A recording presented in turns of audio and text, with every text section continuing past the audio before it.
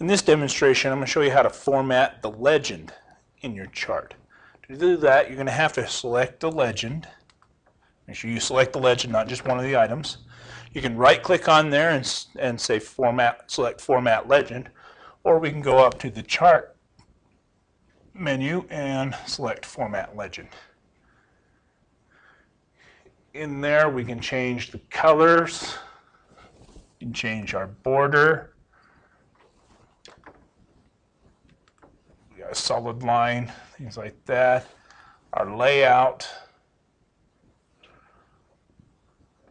The box style, we can say, let's say a beveled frame.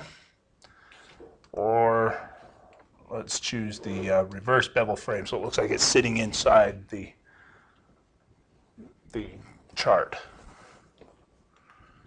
The fill, let's change the color. Let's just do something wild there so you can see the, the difference.